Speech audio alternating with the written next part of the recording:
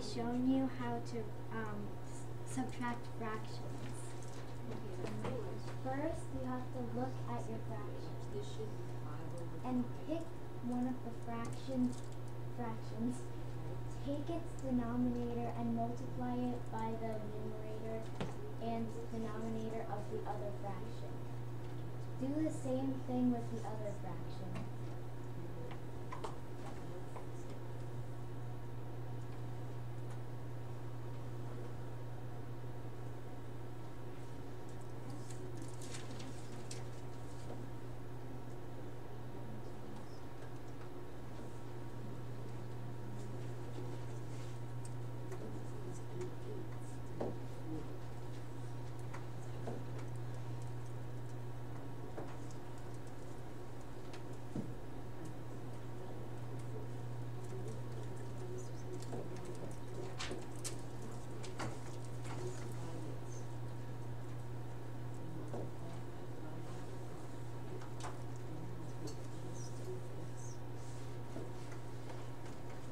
Now that you have both of the same denominators, you can easily subtract them.